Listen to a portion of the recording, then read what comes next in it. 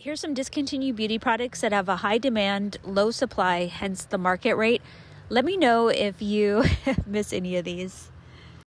Let's start with the Olay Anti-Aging Body Lotion sells for $130 on eBay. Neutrogena Fresh Foaming Cleanser is up to $30 on Amazon. If you're lucky, you can find the Mineral Fusion shampoo on Amazon for $50 a unit. A little bit shocking, but the Bianca spray sells for $40 a unit on Amazon. So many people were bummed about this one. Currently selling for $60 a unit on Amazon. This size hair gel sells for $70.